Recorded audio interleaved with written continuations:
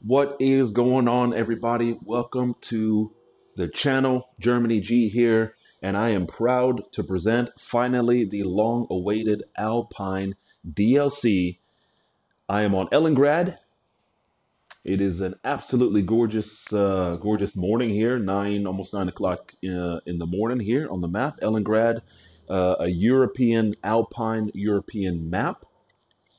And as you can see here in front of me, and judging by the title of this video, you are here to see the equipment walkthrough, the entire, uh, a tour of the entire, uh, every piece of equipment that we have now in this Alpine DLC. Uh, small tractors, some large tractors. All this is still category, categorized as small tractors. Uh, mowers, windrowers, attachments, more mowers, uh, balers, drills, harrowers, cultivators, windrowers, uh, loading wagons. There is a lot of equipment on um, on this DLC. So if you guys are looking for stuff, uh, vehicles, uh, equipment, and a really cool map to start playing, or even uh, subsidize your farming simulation so far, this is going to be the perfect DLC for you.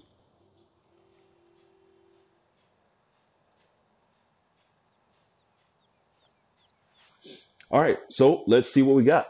Sorry about that. Just setting up my computer, getting things. There's a lot of stuff here. Uh, I leased all the equipment here, so I can't give you the prices uh, just yet but I do have all the information aside from that manufacturer, type, where to find it in the shop, uh, required horsepower, working widths, all that nitty gritty business. I think I'm just going to start off with these beauties right here in front of me. Got all of these are uh, coincidentally enough, these are all small tractors. Uh, first and foremost, something the long awaited cabless version of the Burr 6105. This is a tractor that I know a lot of people have been waiting for. A lot of people have been looking for this. Uh, small tractors, 100 horsepower, top speed of 32 kilometers an hour or 26 miles an hour. These are some really great looking models, folks. I'm telling you right now, these are going to be some beautiful tractors. Uh, if you guys are looking for some really, really nice stuff, look absolutely no further than what we have here. This little bundle of joy, as a matter of fact, was one that I was uh, looking forward to the most, as a matter of fact. 68 horsepower Rigitrac SKE 50 electric. Yep, the first electric tractor that they have here on Farming Simulator. It's pretty, pretty cool. Like I said, 68 horses, uh, this tractor, as a matter of fact, is the only one uh, that I've noticed, aside from the Burr, that does not have all-wheel steering. So I was a little bit disappointed in that, but like I said, it's electric, 68 horses, and uh, it's looking it's looking nice. Like it's it's pretty sweet. I can even show you just what these models look like on the inside. And as you see there on my HUD, it shows a battery instead of a gas gauge or a fuel gauge. And uh, these models are really, really nice. So I don't want to spend too much time on any one of these really. I just want to kind of highlight the ones that I'm really stoked about. So the 68 horsepower Rigitrac SKE 50, followed up by its bigger brother, not much bigger brother, the Rigitrac SKE uh, SKH, I'm sorry, 75. 110 horsepower, 40 kilometers an hour, 26 mile an hour speed. Still looking really, really good. All of these models are super clean. I'm probably going to say that about 500 times.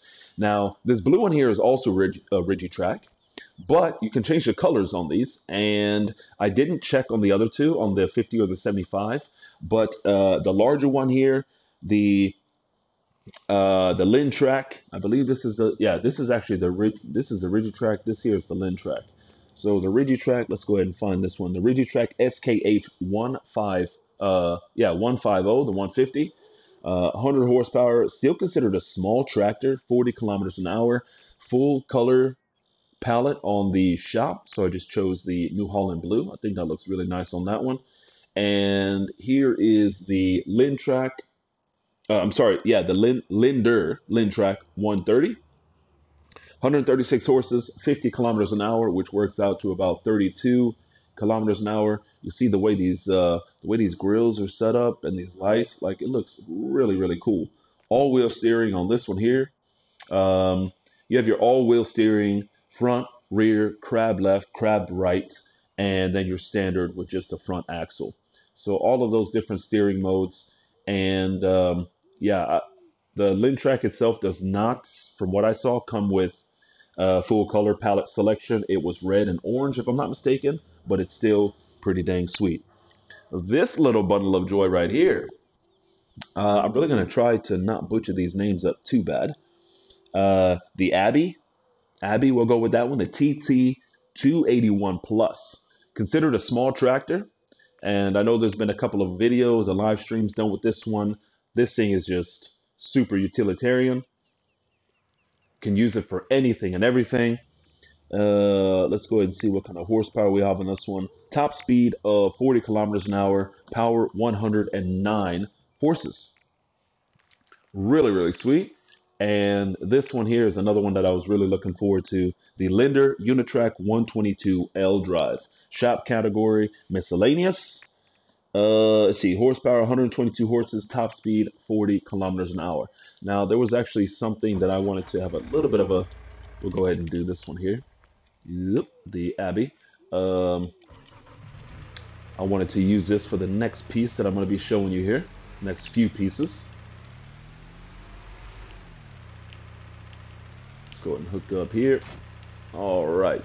So the next piece of equipment I want to show you, we'll go ahead and just talk about the trailer here real fast. A nice, simple little trailer, the Buckman MHAL 4320-35. Shop category, miscellaneous. Nothing really too fancy about this trailer. Super clean. Super clean, super simple to use. You can use your um, fastening straps here uh, I don't know if you want to transport bales. I guess if you're just moving some pallets around the around the farm, you can do that. I don't know if you can actually fold the sides down here yet, but uh, I like it with the sides up. But I'm going to go ahead and use it for the actual mower here. And this was one piece of equipment that I thought was super sweet and couldn't wait to uh, check out. As a matter of fact, the Abbey, and I have one of the one of the features there put on it. The Abbey CC66 category uh, in the shop. Mowers, power 18 horses, speed 9 kilometers an hour, 5 miles an hour, and working width of 2 meters. I'm just going to go ahead and hop into this one. Jump into it like a vehicle. Unfortunately, you can't see your legs when you're working this puppy. Uh, I don't own the land, but I have the uh, metal rollers on it, which look pretty sick. You can have standard wheels, wide wheels, uh, standard rollers like this, and wide rollers, which is double, basically wides or duals on this thing. Just wanted to go ahead and pop that one into gear and just mess around here. This one is really, really cool. I don't own the land, obviously, so I can't do anything. But, uh, yeah, this one looks pretty cool. Just try to drive it back on here. There we go. Power that down. Make sure she's fastened down. Boom yeah, there we go. That was pretty darn sweet. Let's go ahead and head over here and get some uh, land field working equipment out of the way here. First up we have here is the Servo 25. Let's go ahead and find that here. The Servo 25 is obviously a plow. For you guys who don't know, Pottinger Servo 25. Uh, required horsepower 85 horses, so it's going to be perfect for uh, everything except for the electric Track there and it's got a working width of 1.2 meters. This is a pretty sweet little piece of equipment. I love the red and the yellow. One of my favorite combos. We actually had quite a few pieces of Pottinger equipment on uh, the farm that I grew up on, so that's kind of cool. Next, we have up. Next up, we have the Pottinger Synkro 3020 cultivator.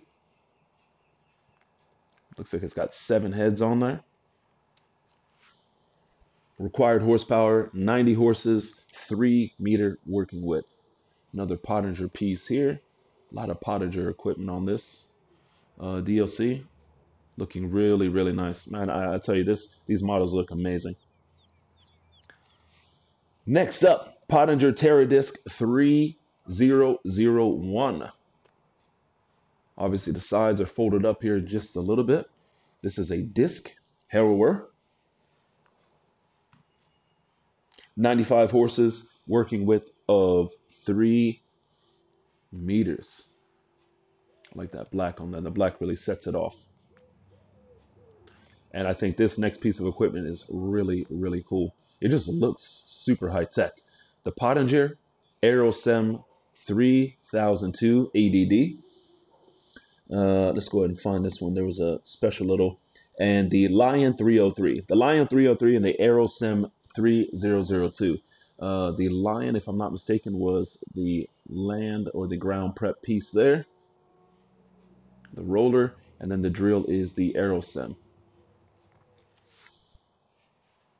It's under Seeders. Uh, required power 165 horses, working width of 3 meters, and it's got a seed holding capacity or a tank capacity of 1,250 liters. Boy, Pottinger, I tell you, they know how to make some good looking equipment. That's pretty darn cool. All right, next off, next off, next up. Uh, let's go ahead and take some of these mowers. All right, let's see here. First up, we have the uh, Sepp Knüsel uh, F240, a drum mower.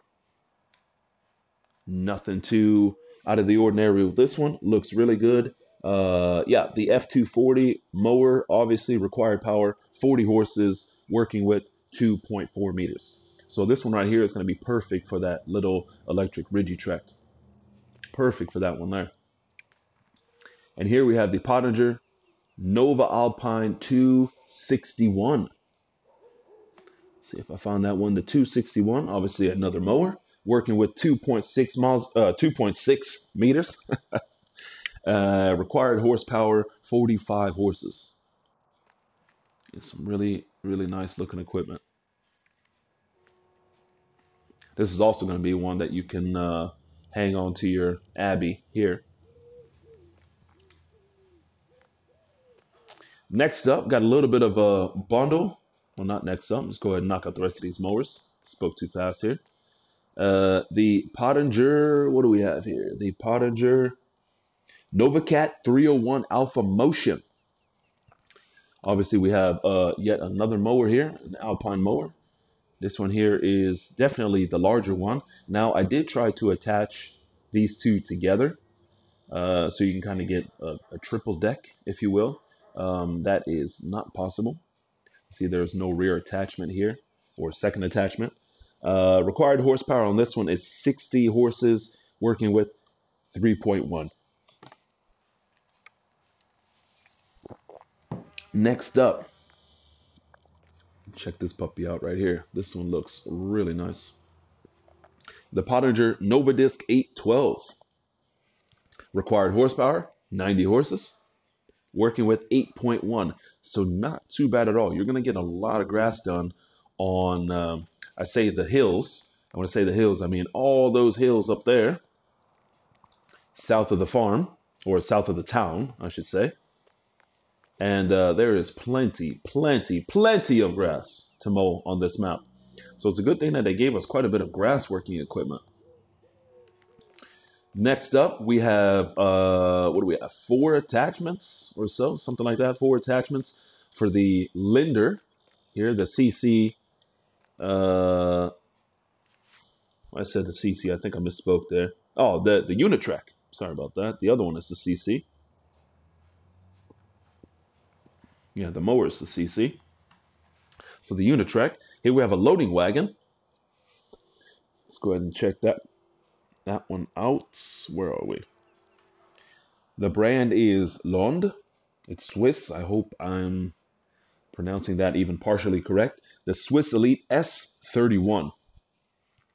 Uh, loading wagon, 70 horsepower, 12,000 liter capacity. Now, obviously, you guys can see that it's not like our standard, which has the pickup in the front. It actually has the pickup in the rear. And the unload is also in the rear. It's pretty cool. 12,000 liter capacity.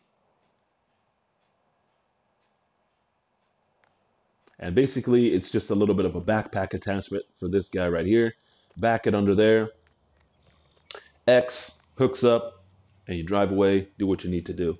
Next up, we have this is the manure spreader for the lender. Uh, the manure spreader, the brand is a Stachel uh, Mistrail 3400 SR. Uh, 12 meter working width and a 3400 liter capacity. So nothing that is going to break the bank or set any records, but uh, it does have a side discharge here. So it's not your usual rear discharge. It actually discharges out of the side.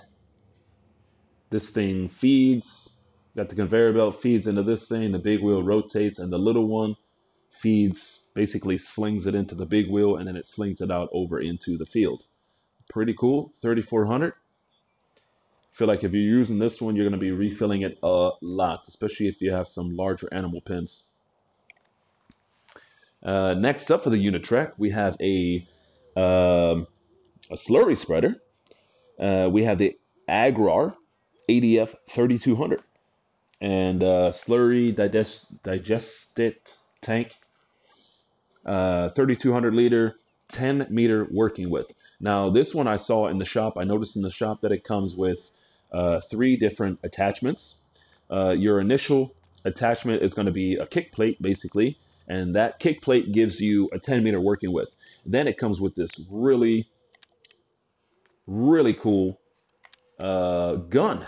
Essentially, it's a it's a gun that you can control, and it shoots it off either basically over to the side, either side, left side, right side, off to the back and uh, that's got a five meter uh, spray working width. And then it also has a drag hose, and the drag hose has a eight meter, if I'm not mistaken, an eight meter working with a big, long, green, eight meter wide drag hose. But I figure I'd at least show you the one with the gun because that looks pretty cool. And let's see, if I'm not mistaken, the last attachment for the Lindner Unitrac is just a platform, um, like a, a, a, platform trailer. Now, for this one, you're going to be probably transporting pallets. Um, throw some eggs in there, uh, crates with saplings if you need. Uh, but the cool thing about this one is that you can actually put a three point with a PTO and hydraulics on the back of here. And if you so wish, you can actually have it without the platform and just the orange frame or red frame and the three-point hitch uh, for secondary attachments. So it's a kind of a it's a multi-use little setup here with the lender. The lender, if you have the lender uh, or two lenders, as a matter of fact, on your farm, you could probably get away with only one other tractor and uh, be perfectly fine on this farm. Uh, with oh, I'd say just about everything on this DLC.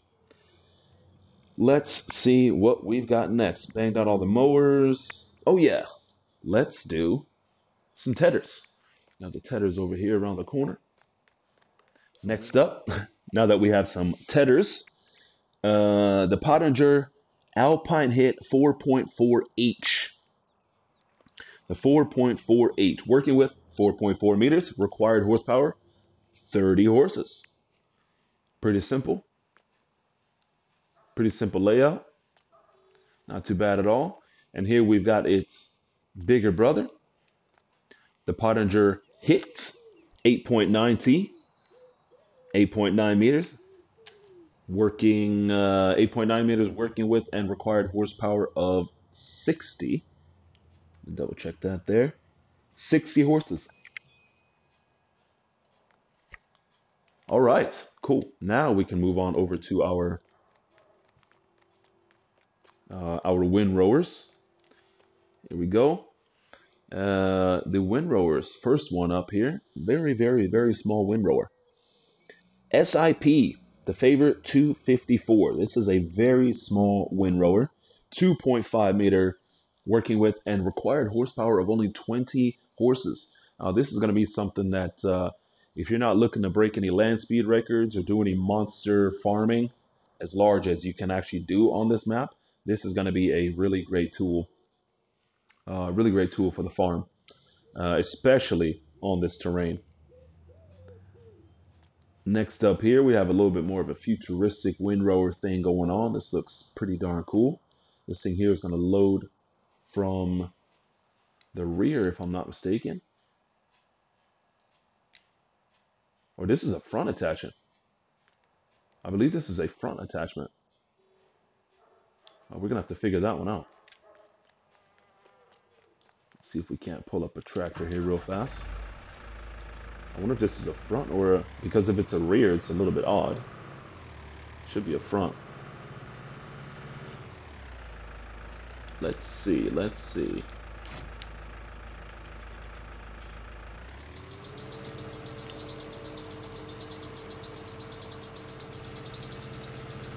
Yeah, I wouldn't imagine that it's a front. It's got to be a, it's, or I wouldn't imagine it's a rear. It's got to be a front. That is, that is pretty cool. All right, I'm gonna go with a front wind windrower on that one because of the pickup there. You have a driving direction and the roller is in front as well. So it makes sense to have a front wind windrower there. Let's turn that off again. Uh, then we have this little guy right here and I actually didn't need to turn that off. Let's go ahead and pull this one over because I saw a saw something really really cool when I hooked up earlier.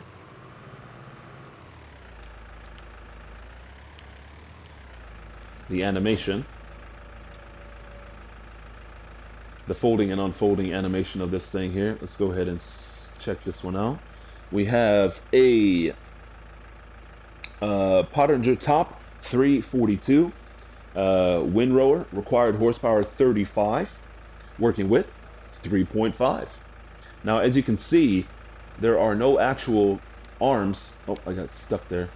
There's no actual arms attached to the windrower. So this is transport mode. And then when you unfold, let's go ahead and lower it. For example, you go to unfold this, and they actually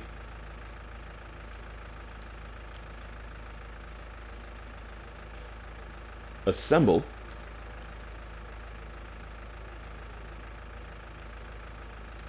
for you. That is pretty sweet. Mind you, you can do it when it's in the up position, but I chose not to. So that was a really, really cool animation. So it doesn't show it now. It's too bad that you can't do it manually. But it's cool that it does it automatically. It is pretty sweet. So the front two, or whatever two are in the front, those are obviously stored there. But to make it easier, the other, what, eight? Six or eight? are stored right there. That is pretty cool. That is pretty, pretty, pretty cool. All right, next up, we've got some balers. Balers, balers. Here we have the Pottinger Impress 125F Pro. And right next to it, we have its much larger brother, the Pottinger Impress 125FC Pro. Now, both of these are round balers uh, single axle, double axle. Let's go ahead and see what the horsepower is on here. Both under baling technology. 120 horses required on the uh, F Pro and 160 horsepower required on the FC Pro. Now, obviously, you can see just the difference here between the two, besides one being single axle, the other being double, is that the FC Pro also bales, uh, also wraps for you. So it bales and wraps and then unloads for you. Now there is one really cool attachment. Uh, really can't. It doesn't have a different color or anything. But this bar right here is an extra that you can buy in the shop, so you can actually have it on or not. Uh, it does cost extra. I think it costs two thousand dollars or currencies extra, whatever you have your currency setting at. This bar right here is a a an ender bar, a turn up ender bar. And all that means basically is it's going to take all of your bales and turn them on their end so that when you're baling these hills, these steep terrains that you see all around me here, your bales aren't going to roll away on you. Now, you can not have that if you want. And if you're bailing on a steep hill and you have the bales pointing downhill, just unload them downhill and catch them down at the bottom of the hill if that's what you wanted to do. I myself would rather have that the bales stay in one place. Now, I don't know about how much I'm going to be playing this map, but I definitely, definitely, definitely, I usually don't round bail on on my maps because they have a tendency to roll away. But I think with this baler, I'm probably going to give it a lot of use because of this um, on end, uh, turn on ender bar. Uh, that's I think that's pretty cool right there. So I'm really looking forward to testing this one out. So uh, the Pottinger Impress 125F Pro, 120 horses, and the Pottinger 125FC Pro, baler, wrapper, uh, turn on end bar, 160 horses. And now we come to our last three final pieces of equipment. All three, bingo, bango, bongo. Loading trailers. Loading, yeah, loading trailers. The Pottinger Boss Alpine 251. The Pottinger Euroboss 330T. And the Pottinger Faro 4010. This thing looks really, really cool.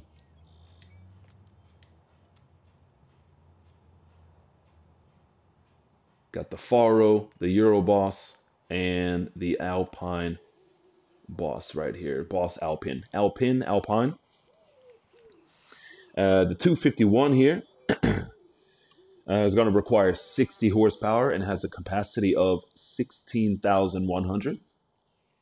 It's not too bad for an Alpine uh, forge wagon. The Euroboss, I really like the name there. The Euroboss is going to require 90 horsepower and has a capacity of 21,300. These things look really good. And the Pottinger Faro is going to require 130 horses. So the only tractor that you're going to be able to pull, if you're only using Alpine DLC equipment on this map, the only vehicle that's going to be able to pull this, um, the only vehicle that's going to be able to actually pull this is going to be the. Um, I'm try, actually trying to see if it's the Linder. No, the Linder's not even going to be able to pull it. The Linder Lintrac 130. The only one that's going to be able to pull it is the Rigitrac SKH 150, 150 horses. Um, but it's going to be it's going to be working. It's going to be working at 150 horses. That's going to be a tough one. So yeah, the Faro has uh, requires 130 horses and has a 26,000 liter capacity. There we have it. All right, folks. Let's see here. If I'm not mistaken, that was what 30 pieces of equipment, something like that. Quite a few pieces of equipment on this uh, Alpine DLC.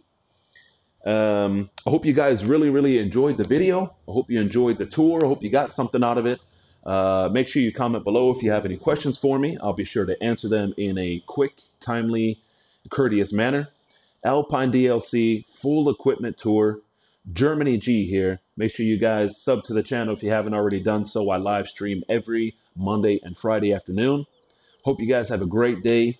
Enjoy yourselves. Be safe. Take care. And I'll catch you on the next one.